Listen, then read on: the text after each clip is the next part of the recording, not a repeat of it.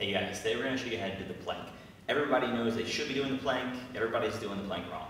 Uh, the plank is the single best core exercise you can do that's going to prep you for strength training. You know, if you can only do bodyweight stuff, um, if you're just getting into strength training, this is a great beginner move. If you need to make it easier, you can do it on an incline, just like you would push-ups. If you need to make it harder, I'll tell you how to do that in just a moment. So we're going to lay down here on the ground. He's going to get his elbows directly under his shoulders. Gustavo's going with arms apart because what he wants to do next is make sure he sets his shoulders. We have another video on that. Um, we'll link to that below.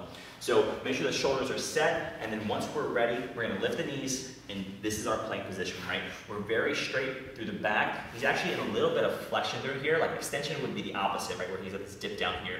And if you're in extension, you'll usually feel these low back muscles a little overly tight. You don't want that. So curl up a little bit here, and if you're doing it well, you're gonna shake. You're gonna start shaking from the moment you lift your body until you set your body back down.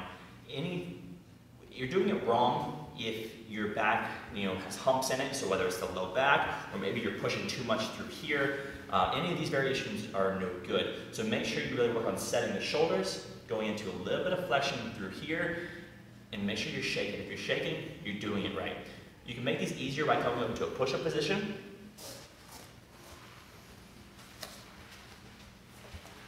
Right, so this would be a good starter position. Um, you know, so the next step here would be harder. We go down to the elbows.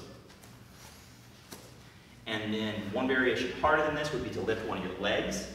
Right now you're adding a little more instability to this. It's going to make it even harder to do. And if you're really crazy, you want to step up one more notch, you're to lift one leg and the opposite arm.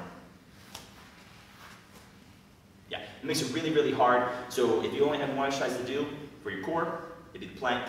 Now you know how.